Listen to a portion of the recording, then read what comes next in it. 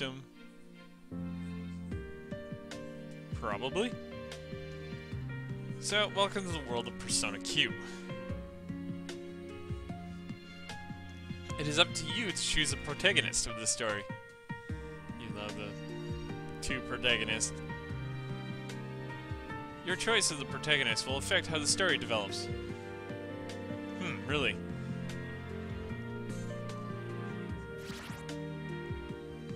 Yeah, for this live stream, I'm going to go with the Persona 4 protagonist.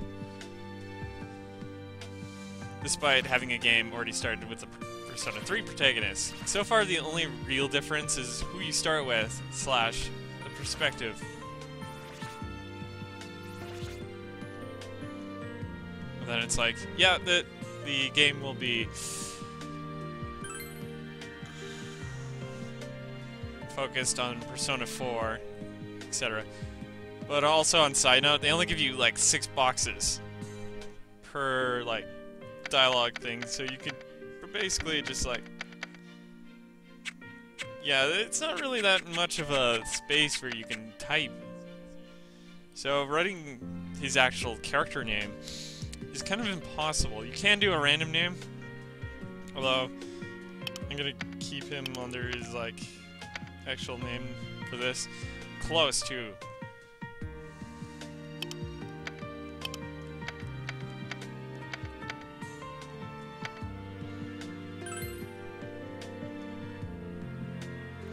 Um, yep.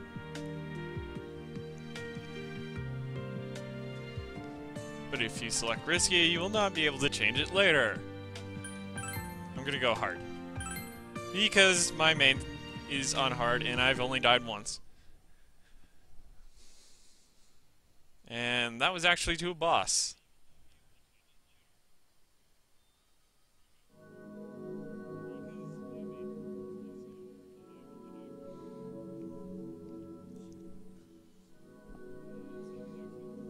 Yeah, so mostly the only thing different is how you perceive each of the characters.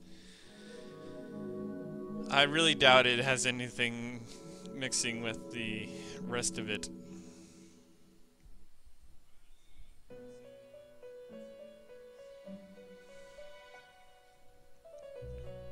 Well, mostly. Welcome to the Velvet Room. This place exists between dream and reality, mind and matter. I already know all that. It seems you have quite a unique fate after all. And I know that too. The cards are whispering to me. They say that a curious incident is awaiting you. Is that why Igor is not here? Hey, Perhaps bunny. Perhaps you have a premonition of it already. Do you know who your threads of destiny will intertwine with? Uh, I'm not going to add the, the art until the rest of it is done.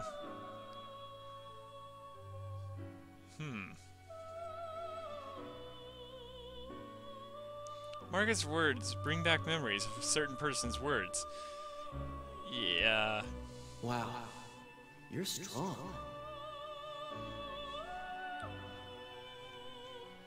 Could this be the Fae that Margaret is talking about? No.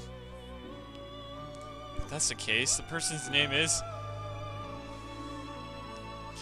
Yeah, I can actually get away with putting the protagonist's name that I put for the original run in here.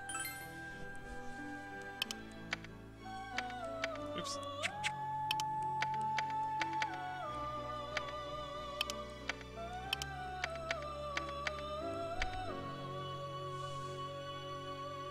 Yeah, that's fine.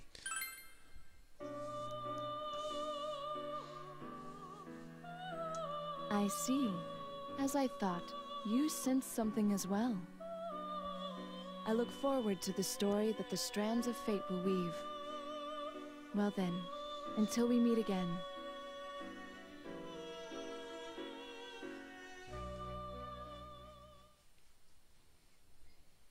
Alright.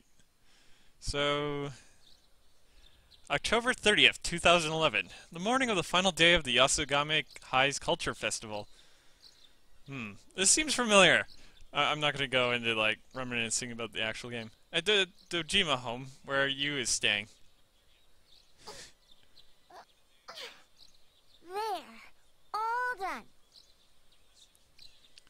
Nanako, Yu's younger cousin in the first grade. She does the housework after her mother died. It's actually. I know, that panda is there in the actual game too, so. The table is set, and breakfast Nanako prepared is already waiting for you. My teacher said you need to eat well in the morning. I just know how to cook eggs, so I need sunny side up eggs and a rolled omelet. Huh? The rolled omelet turned black. Uh huh. Let's scrape the burnt part off and eat it. Your choices don't really that matter that that much. The burn parts are bad for you. Yeah. But Dad says he likes it like that. So I always tell him he shouldn't eat it. Well, thanks for the food. The eggs are yummy. Chickens are amazing.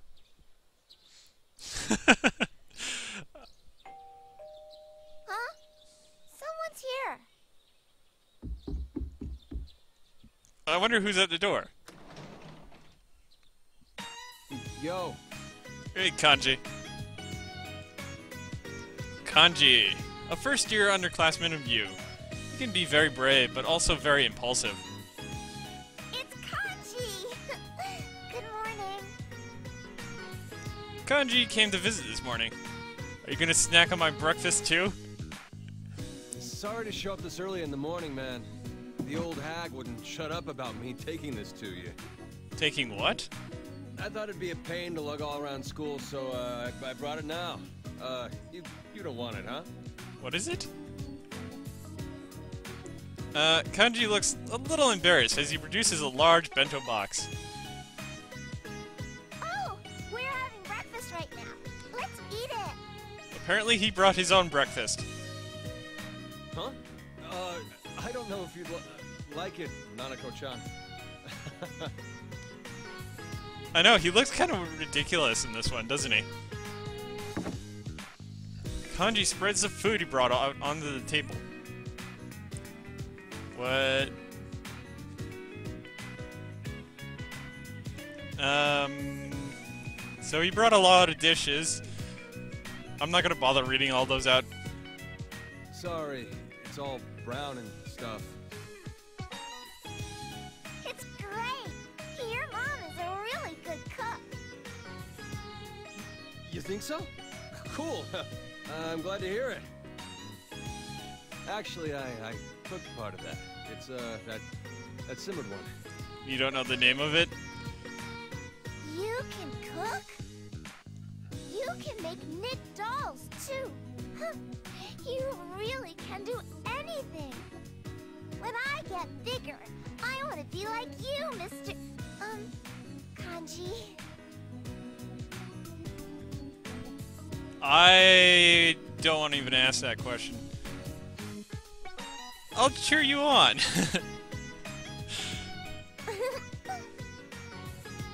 What are you cheering her on for?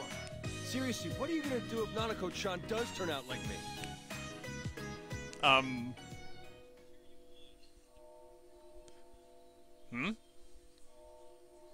Hear something that sounds like the ringing of bells. Oh, you're going to be late, Big Bro. There's a festival at school today, right? Yeah, as I remember, the last day was reserved for the. Wait, I don't think that'll happen. Looks like though Nanako didn't even hear that sound. Whoa, look at the time. Uh, guess we'll have to use my secret passage. Secret passage? There's a hole in the school fence. It's a shortcut to the classrooms that lets you avoid the teachers. Nice. Kanji, you're a delinquent. Uh, I don't know. That's so cool. Cool? Uh, not really. I mean, Senpai, come on, stop glaring at me! Never. Anyway. A little past two in the afternoon. I was I was gonna say the it's now the afternoon. The beauty pageant and the other events have ended, and the cultural festival is coming to a close. The class display, the group date cafe. There are no customers. Uh, we're gonna sit through this again.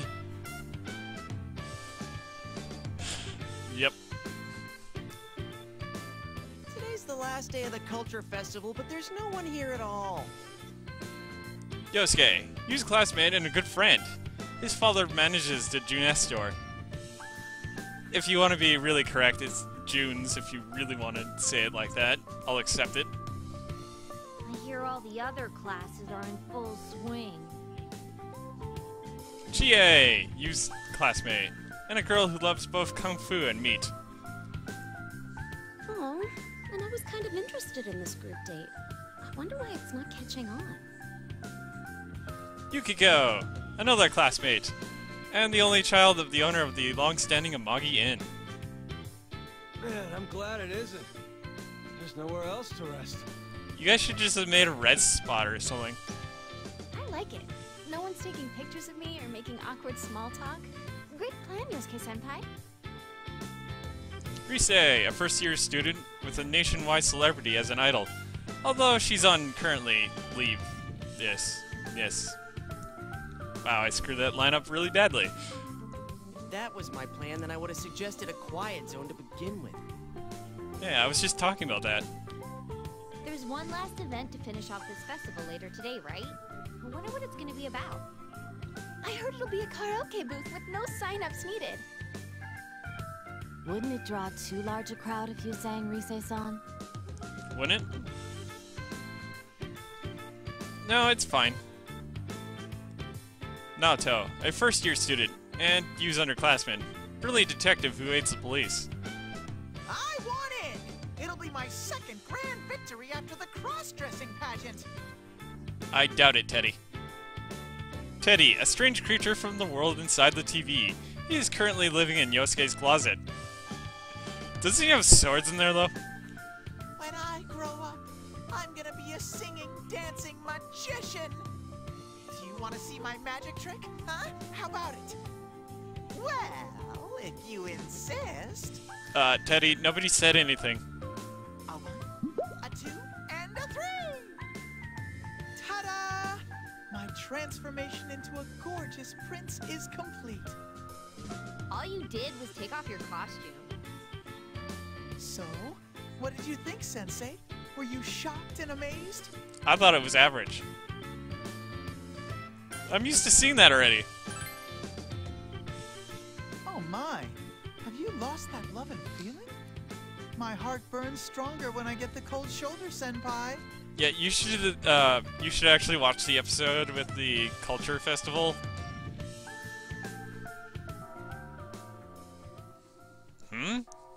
Sound again. Uh, is it me or does anybody else hear the bell? What was that just now? It sounded like bells. Hmm. It was different than our usual school bell, though, huh? Yeah. Oh! What is it?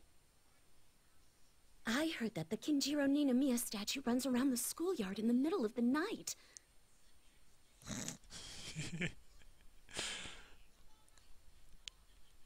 Uh, And What does that have to do with anything? yeah, what what does that have to do with this? besides, we don't have one of those statues here. It's a common story as one of a school's seven horrors. Does this school have its own urban legends? Yes. Like I said, the statue runs around the. We don't have one. Oh, but the second one's impressive too. The eyes of the Mozart bust in the music room. Actually, that may be true. All they do is glow? well, all the statue does is run. Again, we have no statue. The third one is if you write your wish in the logbook of the nurse's office, it'll come true. Isn't that just a superstition? Maybe. Yukiko continues telling her stories. Okay, but here's the main point I wanted to get to. you did have a point. Can you guess the sixth one? Does it have to do with a mysterious bell that everybody can hear except for other people? Whoever hears the bell of the clock tower to the end. Uh, we don't have a clock tower either. Then why do we keep hearing a bell? Although, as I recall, supposedly there was one here once. I heard it from the principal before. You know, I think you're right. But I'm pretty sure that was before we were in grade school. Hmm. So, what happens when you hear the bells to the end? You die. Dude, that's such a cliche. I don't think that uh, will actually work. You breathe your last. Rephrasing it doesn't make it better. Okay, enough about that story. That bell probably means the post-festival event starting. Let's go. Chie quickly leaves the classroom. Apparently Yukiko had scared her off. Chie left. Ah, can't believe anyone our age still gets creeped out by the seven horror stuff. Uh, are you scared? Hmm? No, not at all. I'm amused by this. In the hallways of Yasogami, Margaret, a resident of the Velvet Room, is standing here in the bustling hall. I know. Ah, Uh, I didn't know you were here. I've been allowed to have a fortune-telling booth here. It's just a way to pass the time. Right. Hey, hey, Senpai, who's this beautiful lady? You never told me about her. Didn't these guys meet Margaret at one point? I can't remember. No, they didn't. Not per. Can't let this pass. You explained that she's a resident of the Velvet Room, where your persona fusions are f- performed. Oh, you mean that place you've mentioned before? Yeah, but everybody thinks I'm crazy when I mention it to them. But didn't you say the owner had a long nose? Does it does it stretch? It doesn't stretch, and he was not referring to myself. Ah, I'd be curious to know what you've told your friends about us. I have said nothing. Oh, sorry. Um, we're There's no need for introductions. I know about all of you. That aside, did you hear that sound earlier? Yes. What sound? Oh, right. We thought the post-festival thing was starting. I see. So you did hear it. Yes. That sound did not come from reality. I heard it from my fortune-telling booth after all. From your booth? Though it has no master, the fortune-telling room is a simplified velvet room. The velvet room is inseparable from a guest's fate. Absolutely nothing meaningless happens there. So then, if a sound was heard there, it was by necessity? Interesting. Maybe you just dropped a bell or something? I don't doubt a bell could still ring like that. Indeed, something is happening. Or rather, something is about to begin. She ignored me. well, I guess all we can do is check out this fortune-telling booth. We should. This Velvet Room's where they've been helping you out all this time, right? You raise an interesting point. If you all heard the sound, then it must be related to all of you. Will you please follow me? It's this way. Margaret began leading the way. So, uh, hey, Yukiko, what's the seventh story? Uh, uh, I'm gonna bet she doesn't know. Well, if you've heard the six leading up to it, supposedly something will appear. What? That sounds like the hundred stories. What? What's wrong? Oh, uh, there was a spider crawling by my feet and... Huh? It's gone. Hmm. A spider? Must have been my imagination. Come on, let's go. The hallway in front of the fortune telling booth. It's through here. Please be careful. As I feared, it is somewhat unstable. Unstable? Unstable? Time. It's unstable. Okay. Let's go in, Senpai.